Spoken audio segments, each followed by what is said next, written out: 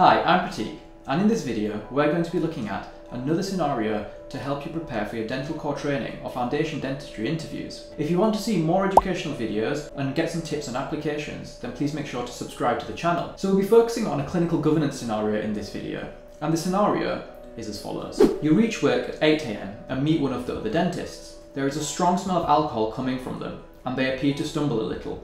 How would you handle this situation? If you've not looked at the other videos relating to scenarios in dental core training interviews, then please make sure that you do, because it'll give you some helpful tips on how to structure your answer. For those of you who have seen those videos, you'll know that I like to structure my answer in three parts.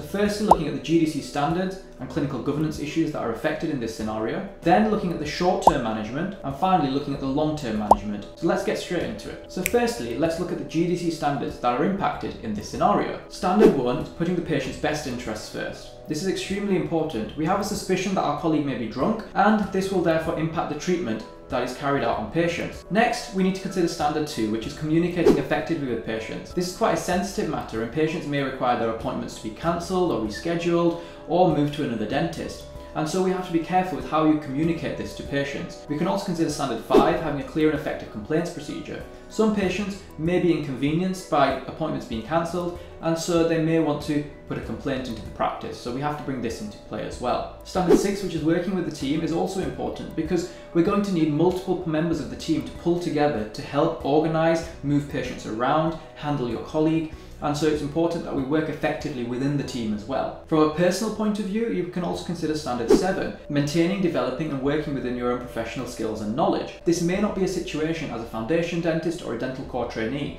that you've experienced before, and so you may have to call upon a senior individual, a supervisor, to help handle the scenario. Then probably the most important in this scenario is standard 8, raising concerns. We have a colleague again who is drunk or potentially drunk and therefore are we concerned that they are doing this on a regular basis? Is this then going to be impacting patients? And so we have to consider, do we need to escalate this any further? And finally, standard nine, which is protecting the confidence in the profession.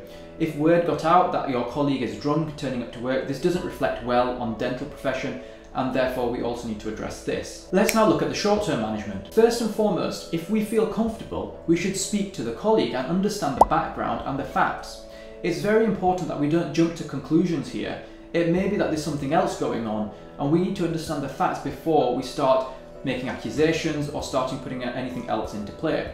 Does the colleague know that this isn't appropriate? I know it sounds like a silly thing, but it's important that we establish this. But most importantly, is your colleague actually drunk? Is there another reason to explain their stumbling or is there another reason to explain the smell of alcohol on their breath? Alternatively, if you aren't comfortable speaking to the colleague, then you may need to speak to your supervisor and they can then speak to your colleague. So whichever way, you are actually doing something about the situation and that's really important. The next thing making the assumption that your colleague is actually drunk, we need to ensure that the colleague gets home safely. So this may be that a member of staff drops them home or we arrange a taxi for them to get home. It's important that they aren't going and treating patients. That's really important in terms of their best interests but we need to still make sure that they go home safely and they get home in one piece. The next step, once you manage the colleague and you can get them home, is to manage their clinic list. So they may have a fully booked day, patients may have already started turning up. We need to address how we're going to manage these patients. And this is where working within the team becomes really important. So a few scenarios. We could potentially cancel the entire list for that dentist for the day this obviously inconveniences a lot of patients. Some patients may have attended and we have to send them home. We also have to then reschedule these appointments, but that's one potential option. Another option may be that we see the patients who have turned up. It may mean that we run slightly late between us, but we see the ones that have turned up and we cancel other patients for the day. Through discussion with the team, you may also decide between you all to see all of the day's patients and fit them into gaps, move them around a little bit so that appointments aren't being cancelled and patients aren't being inconvenienced by this. Another potential alternative is seeing if you can get a locum dentist at short notice to come in just for the day to handle this clinic list. Depending on which option you go for as a practice, there may be some patients that are unhappy. You may have a patient who's had their appointment cancelled for the third time and so they may be very angry and so they may want to complain. And this is where we bring in having a clear and effective complaints procedure and we can direct them to this if necessary. And finally, those key things that we can say in any scenario.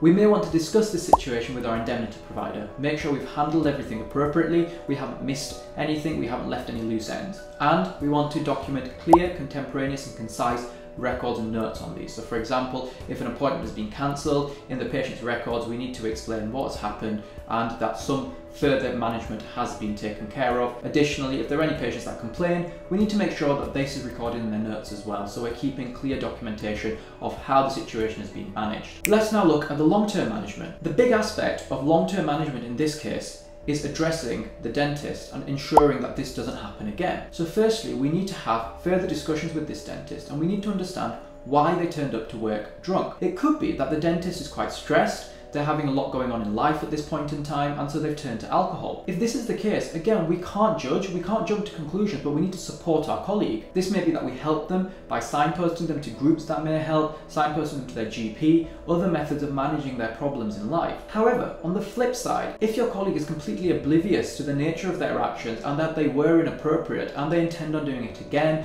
they don't have a reason for what has happened, then this is a serious cause for concern. It is something that will need escalating locally first, maybe through the practice manager who would then have to have a meeting, then regionally and potentially ultimately ending up to a GDC fitness to practice hearing as this is a significant concern for the profession and also for the care of patients. Then depending on what happens with this colleague, we need to ensure we've arranged appropriate cover and care for the patients that the colleague was seeing. So either the patients previously that were cancelled we need to ensure that they've been rebooked appropriately and they have care as necessary.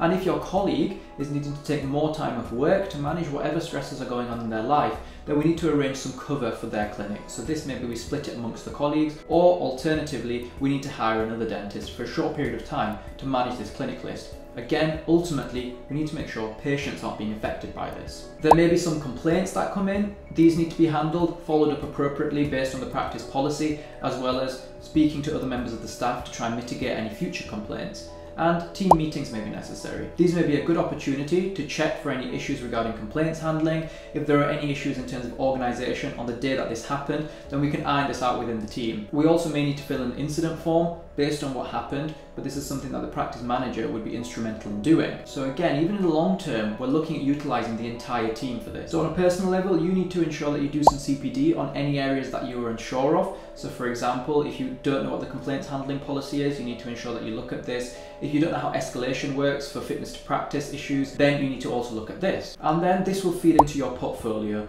and reflecting on the situation that happened. So you may have a meeting with your supervisor and have a chat with them. Was the situation handled appropriately or do you need to do some further understanding, further knowledge on the situation? So there we've looked at the three parts of this scenario. We've looked at the GDC standards and clinical governance issues, We've looked at the short-term management and we've looked at the long-term management to hopefully give you a well-structured and well-rounded answer. The recommendation I'd like to give in this video is the surgical e-logbook. Particularly for those who are doing max fax uh, DCT jobs, it's really helpful to have the logbook to keep track of all the procedures that you do. Even if you assist in them or you have someone else helping you, then make sure you log these because it's useful whether you go to specialty training or for future demonstration of experience. You can also get this as an app on your phone, so whilst you're at work, you can very easily put the details on. I hope you found this video useful. Please remember to like, comment and subscribe.